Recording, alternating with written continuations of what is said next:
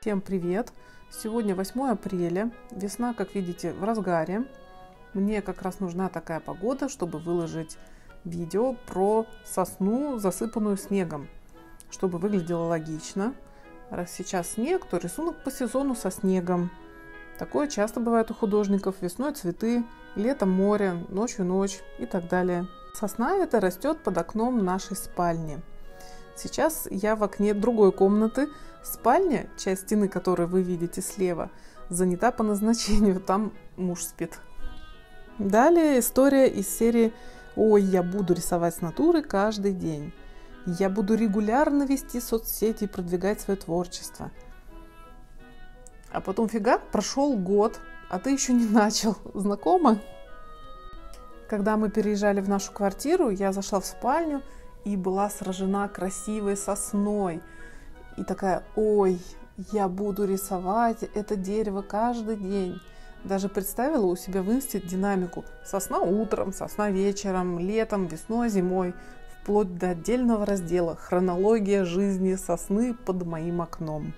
Прошло уже три года, и утром в спальне обычно спят – Днем сосна не так интересна без драматического бокового освещения, а вечером, ну не знаю, у этого окна стоит компьютер, обычно там тоже занято.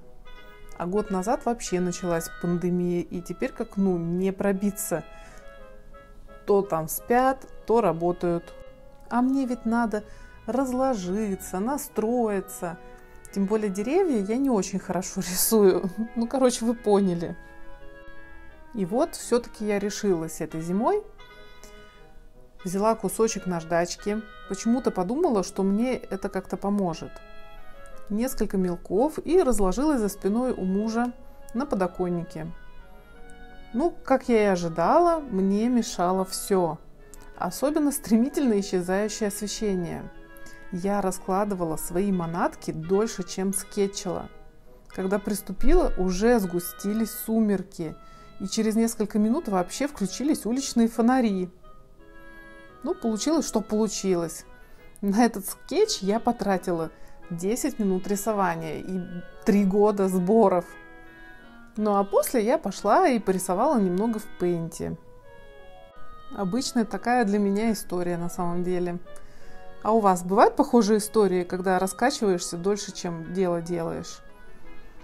И еще, обещайте себе рисовать каждый день, ну или тому подобное, такое типа марафона. У меня даже есть такой хэштег в Инстаграме художник 365. Я такая думала, что я смогу каждый день рисовать и что-то выкладывать. Ну, в общем, что-то не сложилось. Ну вот и все, вся история. Э, спасибо всем, кто досмотрел этот длиннющий ролик до конца. Да, пожалуйста, поставьте лайк, это мне приятно от этого становится. Ну и пообещаю сама себе, как обычно, что буду делать ролики чаще.